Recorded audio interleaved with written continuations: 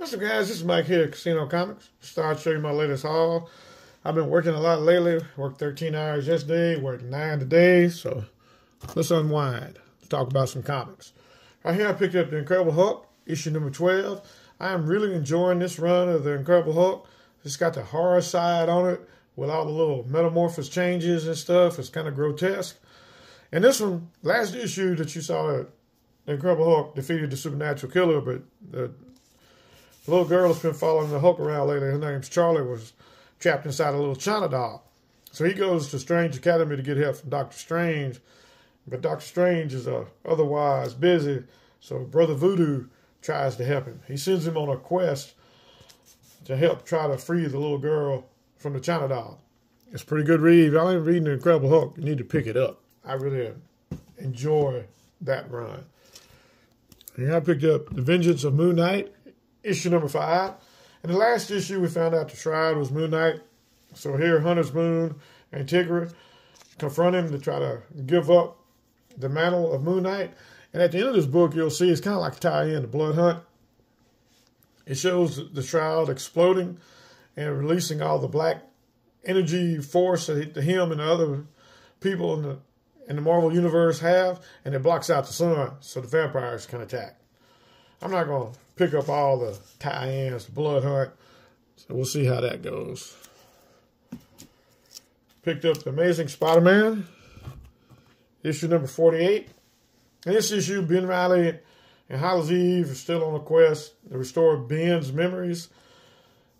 And it takes an awful turn in here because uh, Hallows Eve and Betty Bryant actually have a heart-to-heart -heart about trying to fix Ben Reilly all the time and how that leaves you just completely empty. So at the end of the story, Hallows Eve takes Vince to the side and says, uh, that's all we've been trying to do is recoup your memories. Maybe it's a loss. And why don't we just forget about doing it and follow our own path? It was kind of, of a nice fit ending into the trying to get the memories back arc that they've been trying to do. Yeah, picked up Blade, issue number 10. It's the final battle between Blade and Adana. In this book, they Adana kind of explains to him the other thing he's lost, that she's touched him in every way he can, using Dracula's blood, using all the powers that he's got from that, vampires, all that. It looks like Blade is actually responsible for the blood hunt that's going on in the series of Marvel now.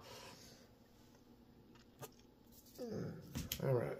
I picked up Daredevil issue number eight, 50th size anniversary issue, issue celebrating 60 years of The Man Without Fear. It just has a lot of stories in it. It goes back and forth. It's a pretty good read. It's a nice book. If you're not reading the Daredevil, you should try at least picking it up and try reading one.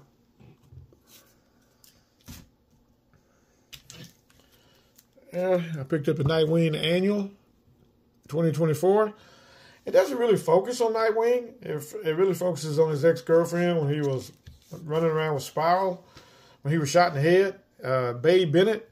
It shows how her kind of like an original story of how she became to be.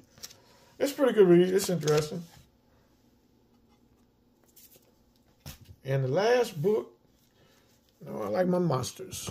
Right here, I picked up uh, Universal Monsters, The Creature from the Black Lagoon. Uh, I don't know too much about him. I wasn't really a creature of the Black Lagoon fan way back in the day, but it's a good book, and the art is just like in Dracula Lives that came out before this. It's done by Dan Watters, Matthew Roberts, and Dave Stewart. It's a nice read. Well, that's all the books I picked up in the last two weeks. I hope y'all enjoyed the little short video that I've done. I appreciate y'all watching, and until next time, peace.